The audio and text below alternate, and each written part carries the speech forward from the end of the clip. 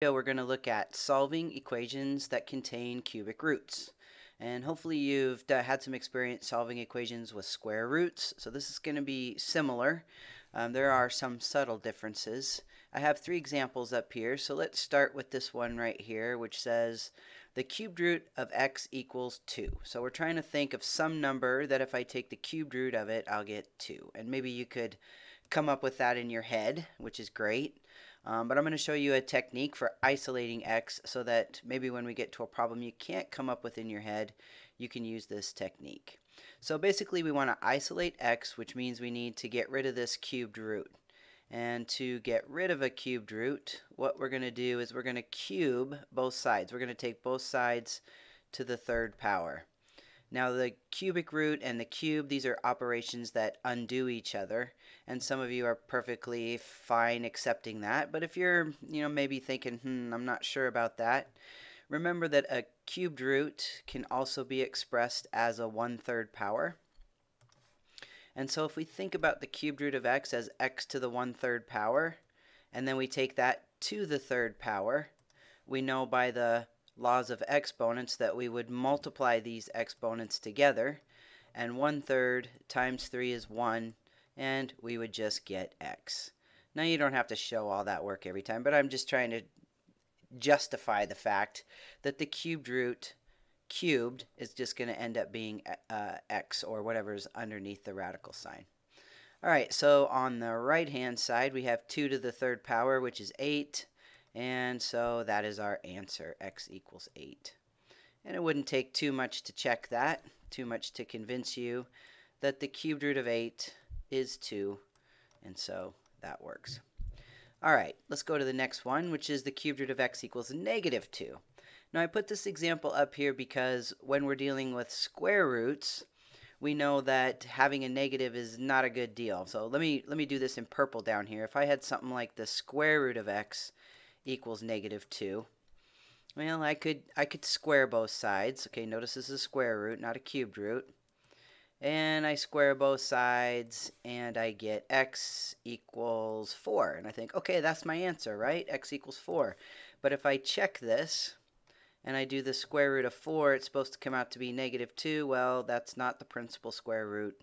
The square root of something is not going to be negative, so we end up with what's called an extraneous root if you've heard that before.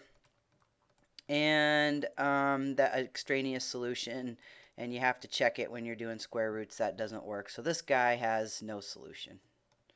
Well, with cubed roots, we don't have this problem. Let's see what happens if I cube both sides of this equation. Alright, I cube both sides to get rid of the cubed root. So if you have a square root, you square both sides. If you have a cubed root, you cube both sides and that gives me x equals negative 8. Negative 2 times negative 2 times negative 2. Well, let's check that. So if I put negative 8 under the cubed root,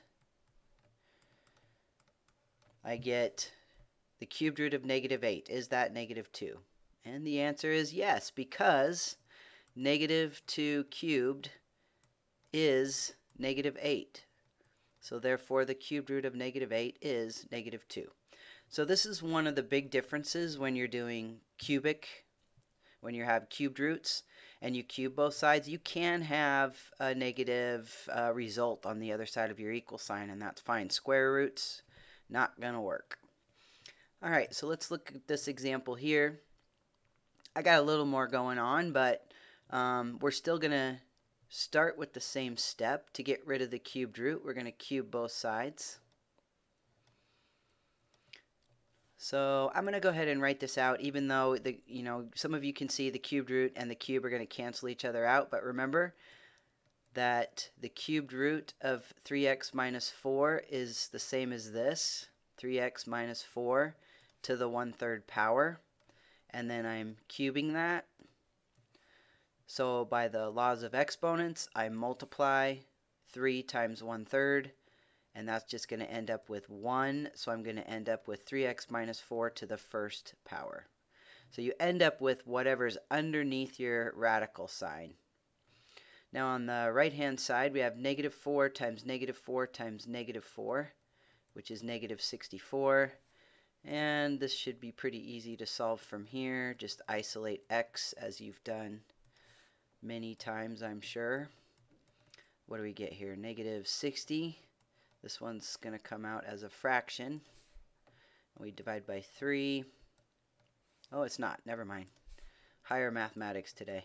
Uh, negative 20. I just made this problem up, so usually when I just make them up, they come out as fractions. Not this one. This one came out to be negative 20. Let's check it. Just to be sure. It's always good to check. So we're going to take negative 20 and we're going to put it right here where this x is. So I'm going to have 3 times negative 20, take away 4. So 3 times negative 20, I got to do my multiplication first. That's negative 64. I'm sorry, I'm ahead of myself. That's negative 60. And then take away 4 is negative 64. And what number cubed gives you negative 64? That's what this is asking. And the answer to that is negative 4. Negative 4 times negative 4 would be positive 16 times by negative 4 one more time would be negative 64. So that works. Yay. All right, so the basic idea to get out of this is if you have a cubed root, you want to get rid of it, you're going to cube both sides. If you have a square root, to get rid of it, you're going to square both sides. And you could extend that. If you have a fourth root, you're going to take both sides to the fourth power. Um, but the big difference is when you have an odd index, remember this is called the index.